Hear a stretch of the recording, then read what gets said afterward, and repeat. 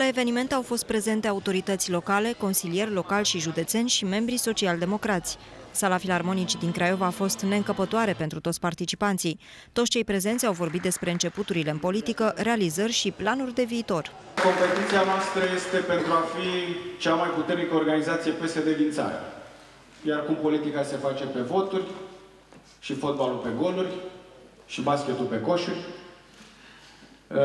până la urmă noi pentru asta ne luptăm. Cele două alegeri care urmează. Mă gândeam de câți ani sunt în politică. Și mi-am dat seama că, deși n-am împlinit vârsta de 40 de ani, am petrecut 23 de ani în politică. Am intrat la vârsta de 16 ani. Vom încerca să fim mai uh, profesionali în munca care o facem alături de dumneavoastră la partid. Organizația Tinerilor Social-Democrați a fost condusă înainte de Florentin Tudor.